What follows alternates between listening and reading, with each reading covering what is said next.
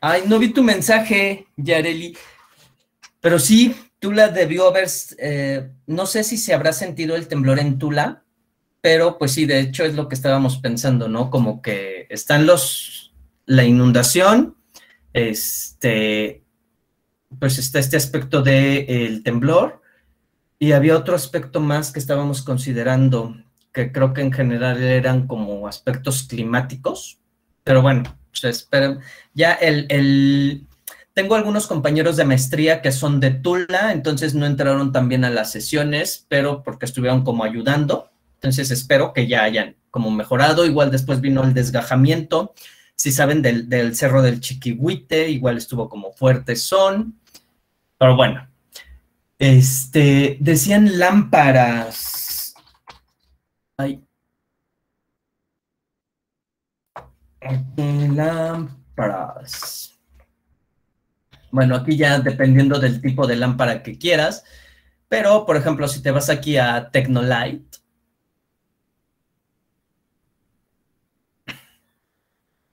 nuevamente, la misma variable GCLID, el código de, eh, en este caso es el código de seguimiento que me está generando Google.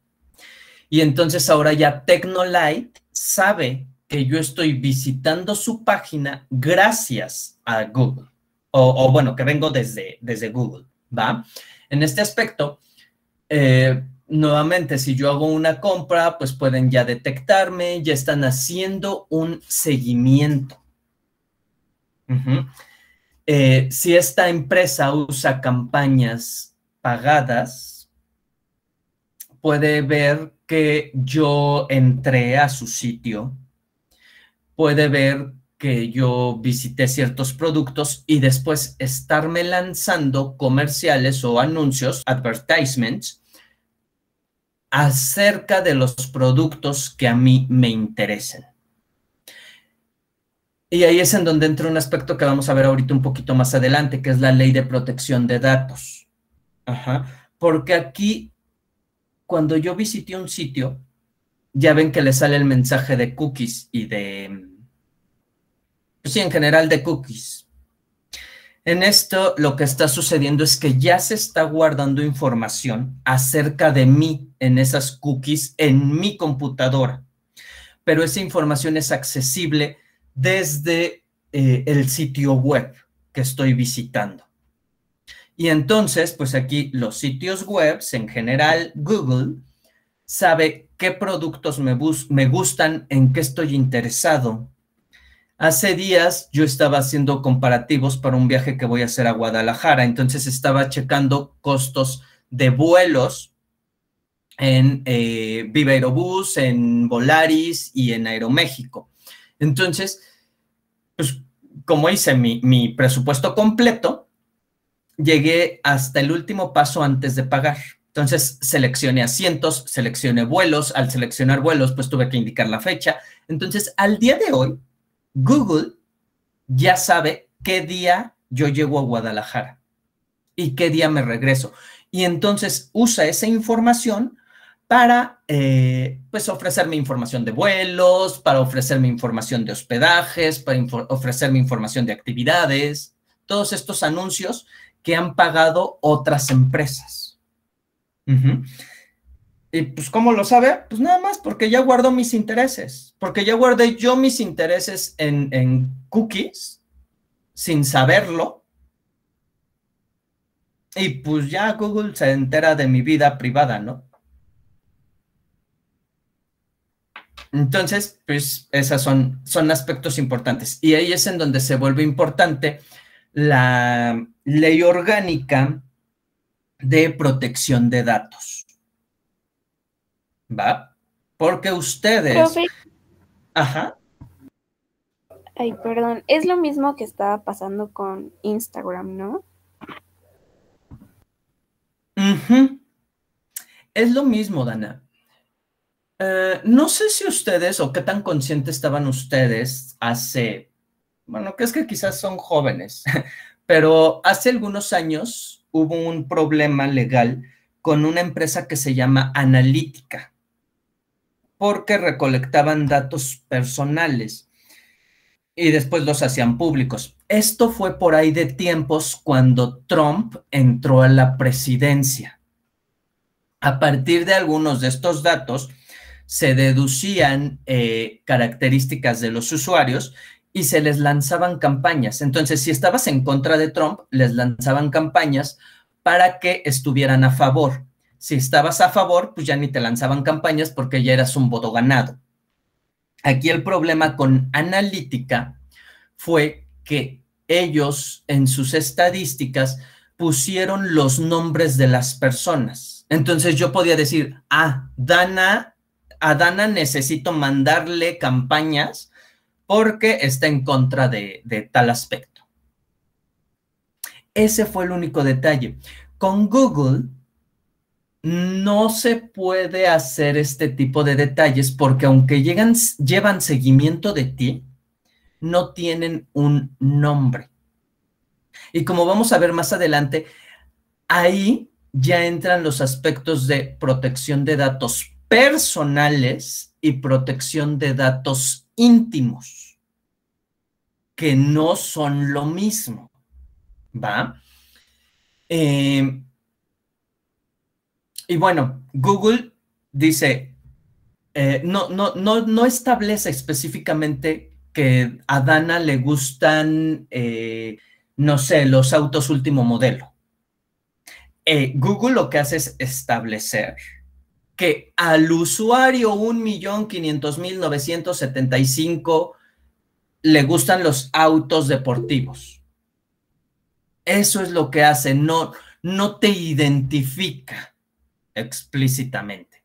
En teoría y entre comillas, porque ahorita Google ya sabe que lo estoy, este, que estoy hablando de él, ¿no? ¿Qué onda, Paula?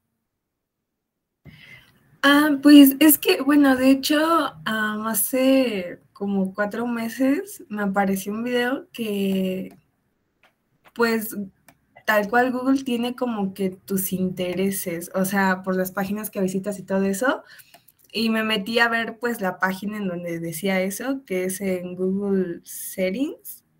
Y sí, o sea, tiene como que el rango máximo de tu edad, cuántos idiomas hablas y tus, tu género y pues ahora sí que lo que más te gusta ver, o sea, los anuncios que más te metes. Claro. Y, no nada más los anuncios, o sea, en general como productos, ¿no? Para ver qué te va a ofrecer. Pero no nada más lo hace Google, o sea, lo, hace Facebook, lo hace Instagram, lo, lo hace Twitter. Esas son búsquedas basadas en intereses. Eh, y bueno, pues ustedes saben qué tanto permiten. Pero hay cosas que hasta cierto punto son inevitables. Quizás por este tipo de protección de datos, yo puedo decir, ¿sabes qué? No voy a tener Facebook. No voy a iniciar mi sesión en Google. No voy a abrir Instagram. Es más, no voy a tener ni WhatsApp. Y se los digo porque así pasa. Tengo un compañero que, pues, no tiene WhatsApp, ¿no? Y cree que Google no lo conoce o no le dan seguimiento. El problema es que tienes esto. Y esto por el aspecto físico que tiene, te hace detectable. Tienes Android. Ok, no entras a Facebook. Y está bien, Facebook no se roba directamente tus datos. Pero para que tú tengas un Android, necesitas cuentas de correo, y te identifican a través de esas cuentas. Y quizás no identifican directamente el producto que te gustan, pero sí te identifican respecto en qué zona vives, en qué zona trabajas, qué trayecto haces. Y en ese inter, pues se presta para que te puedan ofrecer cosas o para que puedan tener, eh, pues tu vida no controlada, pero sí conocida por decirlo de alguna forma. ¿Vale? Digo, tampoco se paniquen. Muchas veces nos paniqueamos y decimos, chin, me van a robar mi información y esto y aquello. Este, les voy a ser honestos, tampoco somos Carlos Slim. No, no tenemos como, como, personas, somos un numerito más. Entonces tampoco es que se quieran meter a robarte tu información. Si se quiere alguien meter a robarte tu información, lo va a hacer. También se está dispuesto a invertir, ¿no? Porque esas cosas son caras. Puedes hablar de la empresa más segura del mundo y la pueden hackear. Ha pasado con Google, ha pasado con Facebook, ha pasado con algunas otras empresas. Entonces, pues si esas empresas que hacen inversiones millonarias en servicios de seguridad son hackeadas, pues cuánto y más tú que no tenemos ni conocimientos respecto a aspectos de seguridad. ¿No? Entonces, si alguien te quiere dañar, te va a dañar. Si alguien se quiere robar tu información, se la van a robar. Pero pues igual, no te pongas paranoico, no eres el centro del universo, no, ah, vamos, por ejemplo, quienes me tienen en Facebook, ¿a quién le interesa hackearme mi cuenta de Facebook? O sea, la verdad es que, pues no, publico eh, tarugadas. Entonces, no hay un objetivo real o un beneficio real de que a mí me roben mi cuenta de Facebook. Para mí es importante, pues sí, porque ahí tengo fotos de mis viajes y de mi familia, fotos que ya no tengo ni en el celular ni en archivo. Entonces, pues si las pierdo, pues me van a, me van a doler. Pero nada más. O sea, de, ahí en fuera, este, la, la importancia que yo le estoy dando a mi cuenta de Facebook, se la estoy dando yo. Pero objetivamente,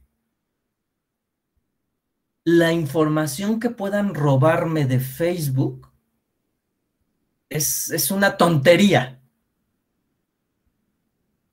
¿No? Y, así pasa. Entonces, pues mejor ni nos ponemos paranoicos ni nada. en, en, muchas ocasiones, pues no sé, alguien se mete a tu Facebook pero porque fuiste a tu café internet de la esquina y dejaste tu sesión abierta. Y pues ya alguien se metió y publicó cosas. Pero de eso a que cambien tus datos personales, a que roben tus datos personales, este, pues no.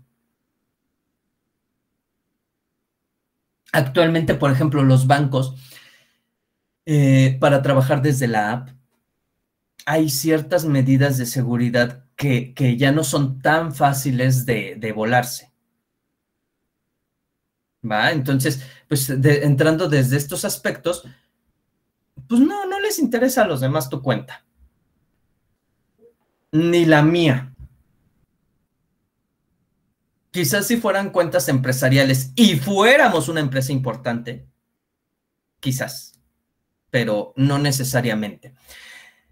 Cuando bueno, no sé si saben, pero eh, yo aquí en México a veces llevo algunos proyectos para con algunas empresas.